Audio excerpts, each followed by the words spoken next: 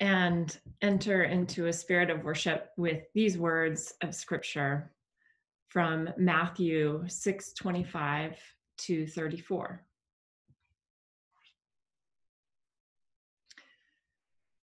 Therefore, I tell you, do not worry about your life, what you will eat or what you will drink, or about your body, what you will wear.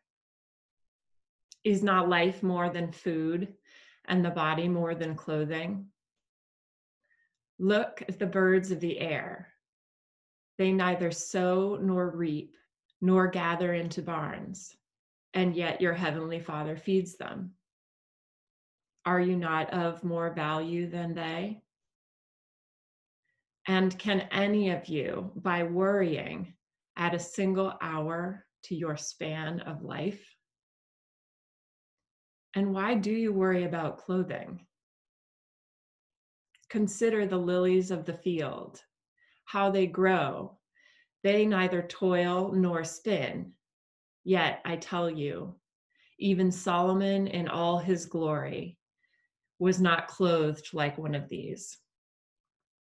But if God so clothes the grass of the field, which is alive today and tomorrow thrown into the oven, Will he not much more clothe you, you of little faith? Therefore, do not worry, saying, What will we eat? Or what will we drink? Or what will we wear? For it is the Gentiles who strive for all these things. And indeed, your heavenly Father knows that you need all these things but strive first for the kingdom of God and his righteousness. And all these things will be given to you as well. So do not worry about tomorrow, for tomorrow will bring worries of its own. Today's trouble is enough for today.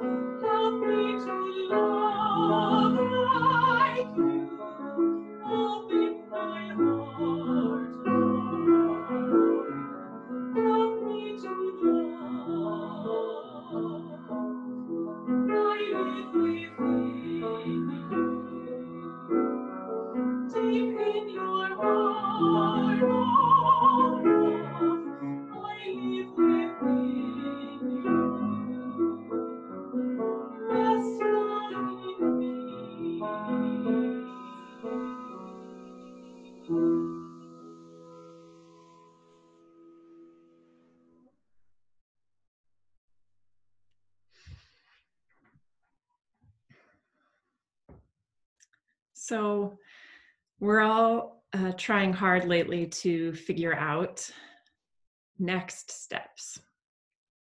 And as May 15th approaches, it occurs to me that we've had this time kind of um, that is somewhat predictable. We were asked to stay at home, and that brought challenges of its own. But the challenge on so many of our minds lately is what's next? And then the immediate follow up question what does that mean for me? Um, what will it look like? What will it feel like? And I have no idea. Sorry. Um, but I I feel like it could go many different ways and will go many different ways for for different people. Um, and so this morning, I'd like to share with you a spiritual practice that might help. Um, I discovered the practice through the Yale Youth Ministry Institute, which has a website uh, full of really great resources, not just for youth, um, and some of you are familiar with this practice, I know. Um, it is a practice of welcome and surrender. Uh, it's, it was articulated really well by a French Jesuit priest named Jean, Jean-Pierre de Caussade, and he wrote Abandonment to Divine Providence. It teaches the value of completely abandoning oneself to God. So, providence is the theological term for God's will and power in our lives.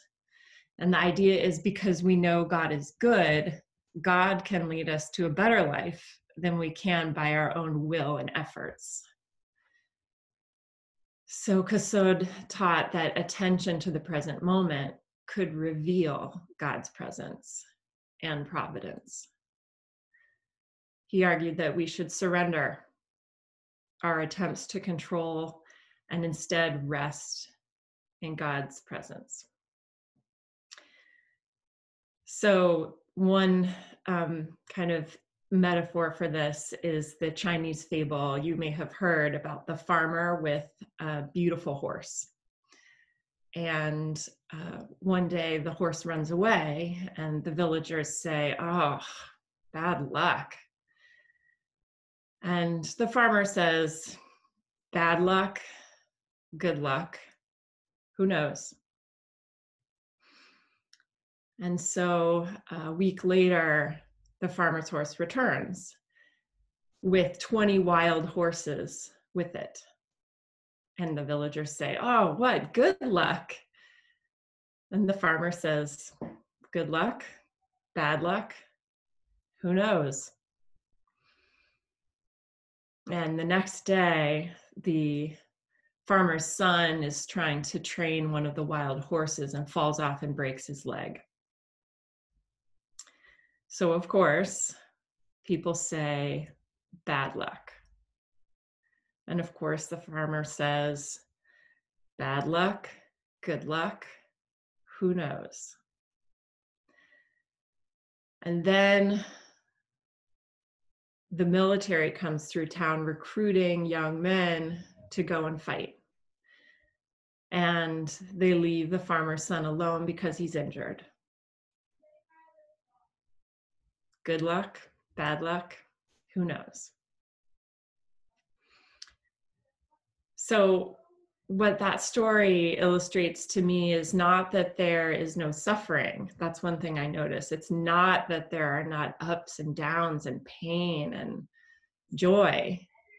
Um, but how much of our suffering we create and we cause. Whereas if we were to take Caussade's advice and rest in God, we might be buoyed on the ups and downs. So, if you're willing to practice with me right now, I would invite you to practice uh, teaching that rest in God's providence by paying attention to the present moment. So let's just find ourselves comfortable in our seats and take a deep breath and begin to notice. You can close your eyes and open your heart.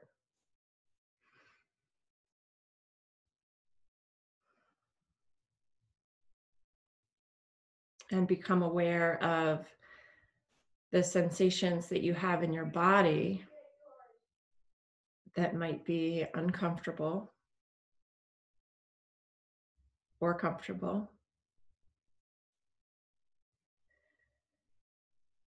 and also attention to how you experience them, how they make you feel.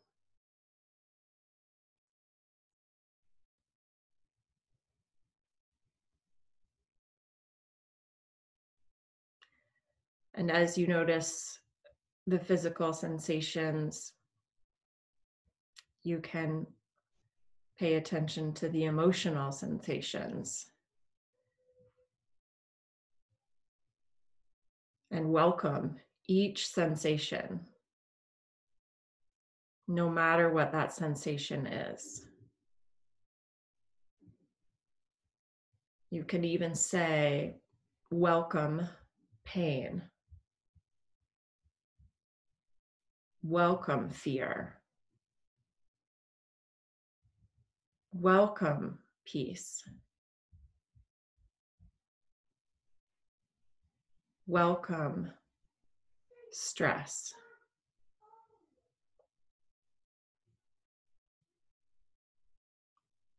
Welcome frustration or even joy.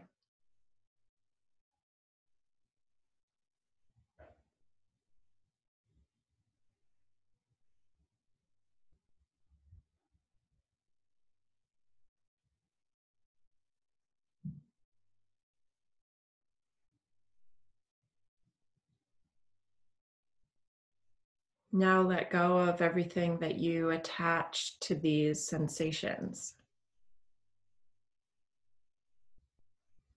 Release the wants, the needs, the frustrations, and the desires that you associate with them. Abandon yourself. To the providence and presence of God in this moment.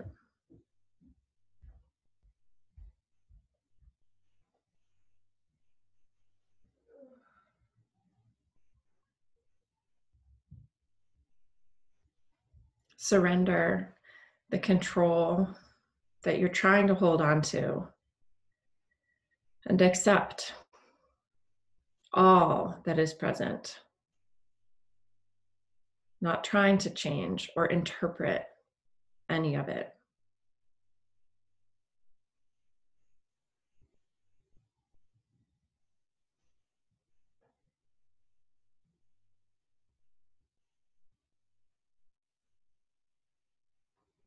If you have trouble letting go of a specific emotion or feeling, you can confront it with a silent statement I trust in God's loving providence.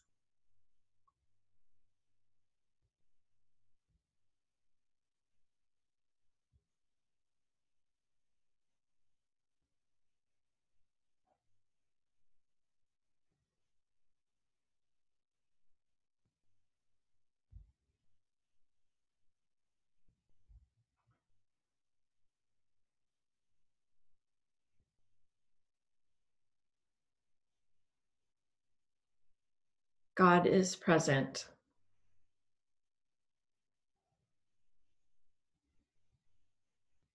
Surrendering control to God allows us to walk through the ups and downs of life with trust and confidence.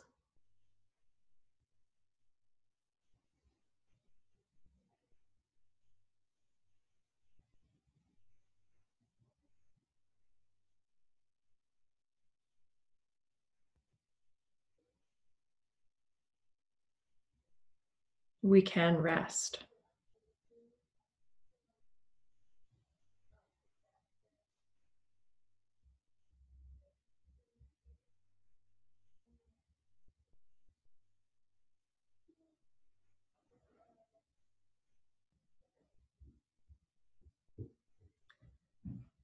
So, with this practice,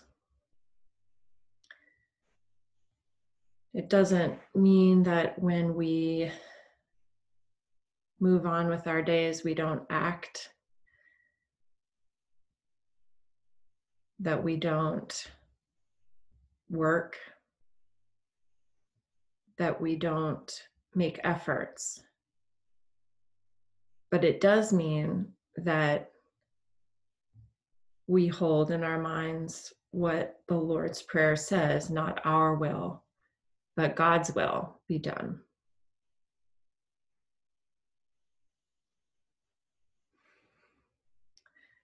I hope that um, this practice can go with you today and that you can return to it if you found it helpful. Amen.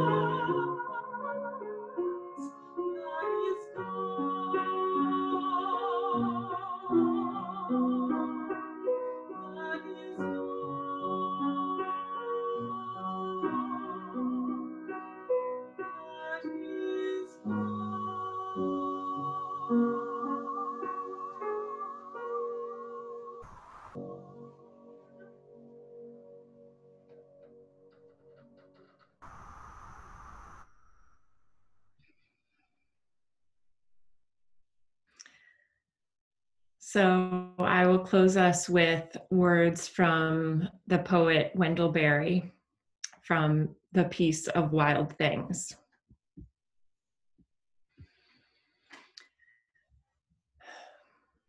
When despair for the world grows in me, and I wake in the night at the least sound, in fear of what my life and my children's lives may be I go and lie down where the wood drake rests in his beauty on the water, and the great heron feeds.